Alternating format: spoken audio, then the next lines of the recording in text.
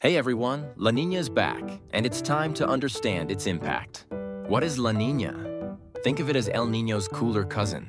It's a climate pattern in the Pacific Ocean affecting global weather. It's defined by cooler than average sea surface, temperatures in the central and eastern tropical Pacific Ocean.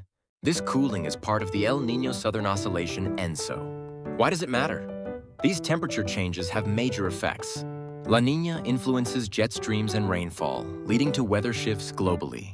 It impacts everything from hurricane activity to winter temperatures. La Nina strengthens trade winds, pushing warm water westward and allowing cooler water to surface.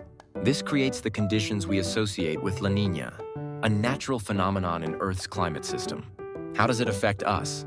In the U.S., La Nina winters often mean warmer, drier conditions in the south and colder, snowier weather in the north. The Pacific Northwest gets wetter, and the Southwest often sees droughts.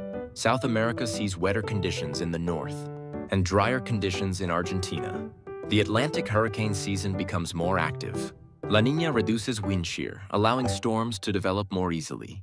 In Australia and Southeast Asia, La Nina brings increased rainfall, potentially causing floods. Parts of Africa might experience drier conditions, potentially worsening droughts. How do scientists track La Nina? They use ocean buoys, satellites, and climate models to monitor sea surface temperatures and wind patterns. This helps them forecast La Nina's development, strength, and duration. Climate models simulate the Earth's climate system, predicting how La Nina might evolve and providing information for weather patterns. Climate change adds complexity. Scientists are studying how climate change could alter La, Nina's intensity and frequency. Be aware of La Nina's potential impacts. Stay informed about forecasts and heed warnings. Prepare for extreme weather like hurricanes or droughts. La Nina is a powerful climate pattern. Understanding it helps us prepare for the weather and where to travel for the best snow. Thanks for watching.